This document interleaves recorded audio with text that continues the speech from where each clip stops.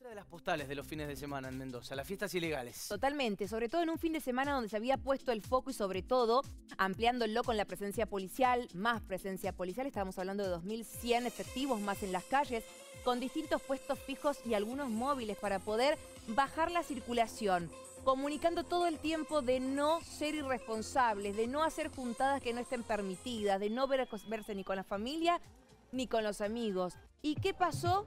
Estas imágenes, que obviamente generan la indignación y el enojo de los que sí cumplen y sí respetan por el bien de todos. Imagínese usted cumplir con todo lo que tiene que cumplir, no juntarse con sus familiares, trabajar solamente lo necesario y finalmente encontrarse con este tipo de imágenes, que esto es lo que podemos ver, esto es lo que se filman y llega a nosotros, pero ¿cuántas habrá que no las conocemos y que no las vemos? Está del otro lado uno de los DJs, uno de los hombres que puso música en esta reunión clandestina y que asegura que fue engañado. Franco Fernández. Franco, muy, buenas noches, ¿cómo estás?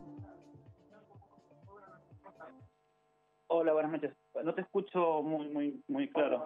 A, ver, vamos a ver si podemos ajustar el, el temita. ¿Sabes lo que tenés que hacer, por favor, Franco? Baja el volumen del televisor que tenés allí con vos. Escuchanos solamente por el... al lado del tele porque realmente se escucha muy fácil la llamada telefónica. Ahí fíjate, ¿nos escuchás mejor? Ahí estamos ajustando para que nos puedas escuchar bien.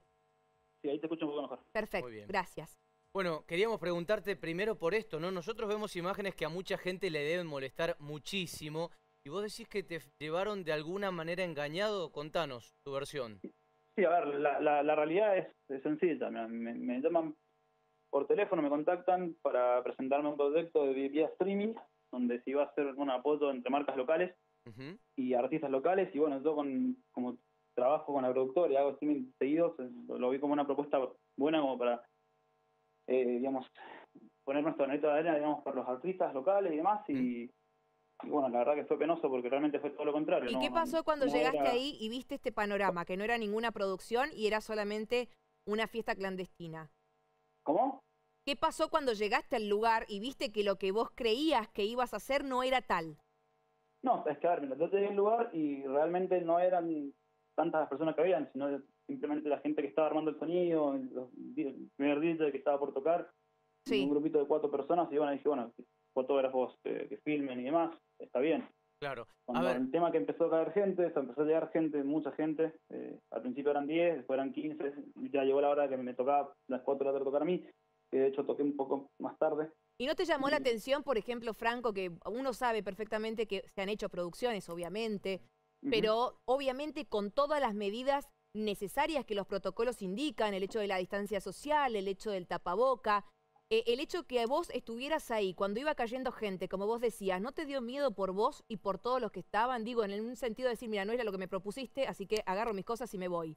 Es que fue, fue exactamente lo que hizo. O sea, yo cuando empecé a tocar, creo que toqué unos 15 minutos y vi que empezaron a filmar y empezó a llegar muchísima gente, o sea, que ya, no eran cinco personas, sino eran 10 y ya eran 15, yo agarré, corté la música, de hecho dejé el track correr, que se terminara solo, yo me di vuelta, agarré mis cosas y, me fui y después volví a buscar mis eh, lentes que me había olvidado en la cabina eh, y mi puerto USB, o sea, mi pendrive y me, retiré del lugar directamente. ¿Y qué le dijiste a las personas? Eh, primero te... disculpas al, próximo DJ y, y me retiré.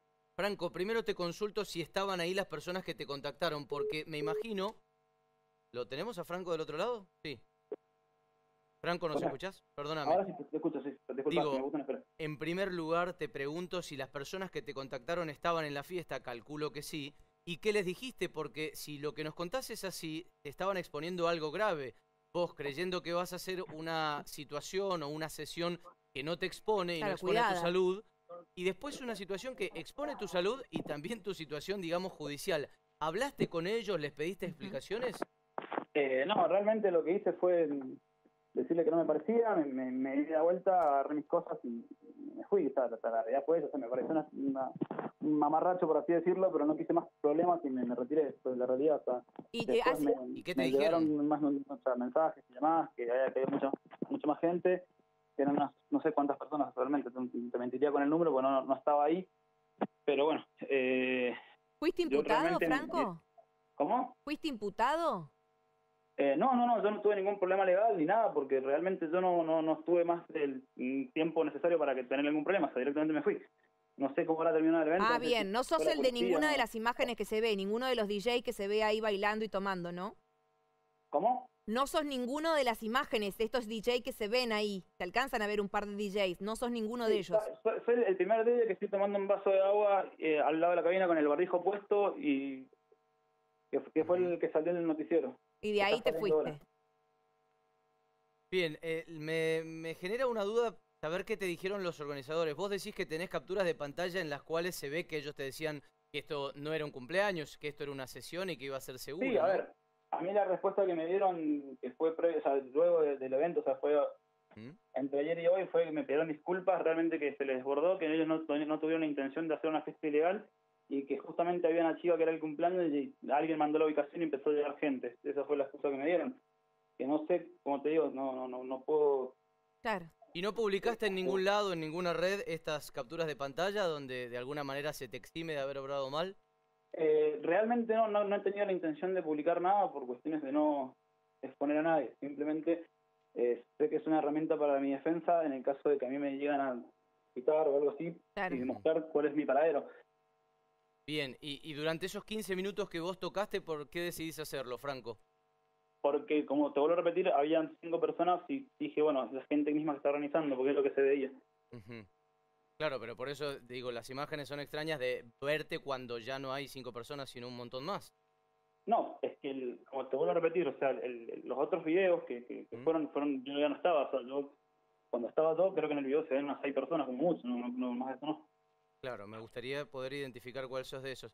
Entonces decís que hablaste con estas personas y ellos qué te dijeron, ¿te piden disculpas en el lugar o después directamente en los mensajes? No, después por mensaje. O sea, en el lugar directamente yo no hablé, simplemente, como te vuelvo a repetir, o sea, me- le, dije que no me parecía, que me parecía una estupidez y me, me retiré, me, me retiré, nada, más, fue todo lo que hice. Bien. ¿Sabés eh, de si han sido imputados, tal vez si a ellos han sido notificados y demás después de no viralizarse estas imágenes? No sabría decirte. Bien, Bien. Franco, una de las últimas de mi parte, eh, si bien por supuesto no los vas a querer nombrar y, y estás en todo tu derecho, ¿quiénes son las personas que te convocan? ¿Son marcas, son influencers, son personas conocidas o eran directamente particulares con los cuales vos tenías alguna relación? No, la persona que me contacta era un, un DJ, justamente, un. DJ del, del- del evento, diciéndome que eh, lo hacía en conjunto con, con varias marcas, entre ellas una diseñadora y demás. Pero, eh, como te digo, o sea, como que era un, un proyecto particular desde el mismo DJ y las marcas estas que estaban involucradas supuestamente. De hecho, eh, yo ofrecí mi marca para, para hacer el apoyo y en ese momento que yo llegué al evento y veo que no que no servía y que era un desastre, di de baja todo y pedí que borraran los flyers, que borraran mi logo y que no iba a transmitir nada porque no me parecía.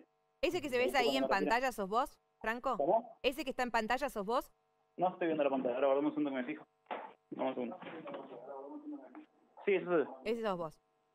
Bueno, gracias por la comunicación, gracias por también, nada, eh, hacer escuchar también tu voz y, qué fue lo que pasó.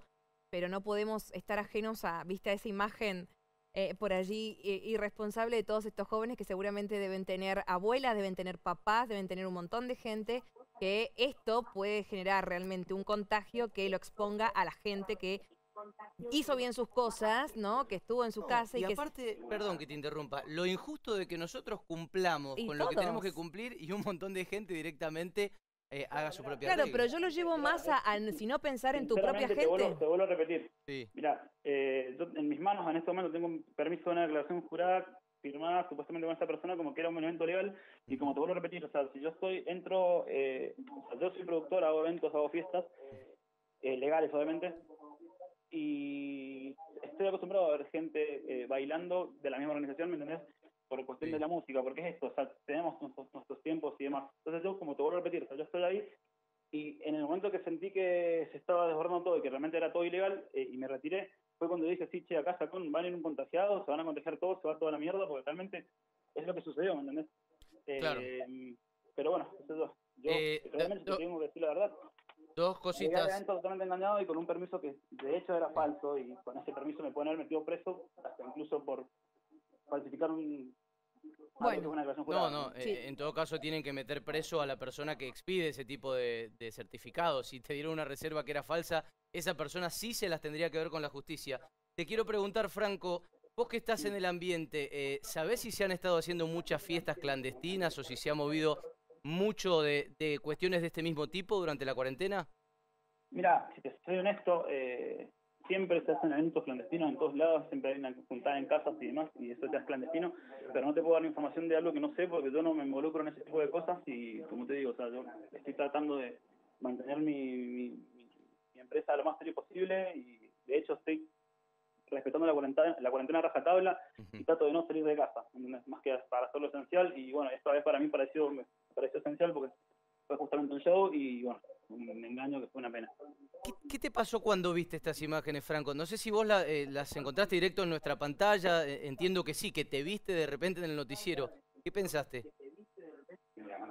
Sí, fue fuerte, fue fuerte porque imagínate que me llamaron de Buenos Aires, me llamó mi mamá, me llamó mi tía, me llamaron familia de, Buenos Aires de Chile, diciéndome que me habían visto en televisión justamente eh, mi mamá es de Mendoza, pero vive en Buenos Aires. Imagínate, me está diciendo que me ve en televisión relacionándome con un accidente de dos policías. ¿Y cómo es eso? Digo yo, pues si no, yo no tengo nada que ver. Y veo que de General Viar, y tampoco de General Viar, acá ensayado, y ahí me recordé, ¿sabes? dije sí. Esperá, esta es mi cara y están confundiendo todo y realmente es una pena y tengo que por lo menos aclarar los, verdaderos sucesos, ¿no? Bueno, si te llegan a notificar por alguna a ver, situación, obviamente, te apareces en las imágenes y demás, eh, tendrás también tu respuesta, como nos contaste aquí a Noticiero, para ver qué, es lo que pasa y, cómo te puedes también defender, ¿no? De, esto en el que cual terminaste siendo parte sí o sí. O sea, más allá de todo, no podemos negar que terminaste siendo parte de esta fiesta clandestina, Franco. Muchísimas gracias igual por tu comentario, por tu testimonio y por comunicarte con nosotros. Gracias.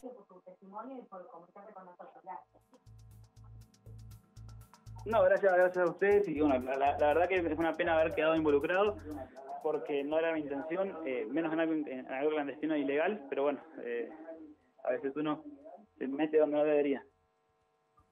Muy bien, Franco, muchísimas gracias. Eh. Un, saludo para vos. 20, 14 minutos era Franco, uno de las, una de las personas a las cuales usted puede ver en esa fiesta clandestina poniendo música. Él asegura que cuando empiezan a grabar empieza a llegar gente, que cuando él empezó había cinco personas, que tampoco estaría permitido de ninguna manera. No está nada permitido, no, no sé cuál es la viveza. Que empiezan a llegar personas ahí y él ahí decide tomar sus cosas y retirarse. Y que incluso le dieron una, eh, una reserva, una posibilidad para poder circular, un, un certificado, un permiso, y que sería apócrifo, por supuesto. Lo que inició supuestamente, según esta persona, siendo la grabación de un video, de un spot, de algo para promocionarse, era en realidad o terminó siendo un cumpleaños clandestino de música electrónica y no uno, sino tres DJs. Totalmente, lo veíamos en las imágenes, ¿no? Y estos chicos bailando como si nada pasara. No sé si la, el chiste está, vámonos a un lugar donde nadie se va a dar cuenta, encima gente que graba y que sube, la verdad que otra cosa que tampoco entiendo, pero bueno, obviamente que de esto nadie escapa y esto es una irresponsabilidad y obviamente serán notificados como tal porque si uno no lo pueden hacer, tampoco los otros.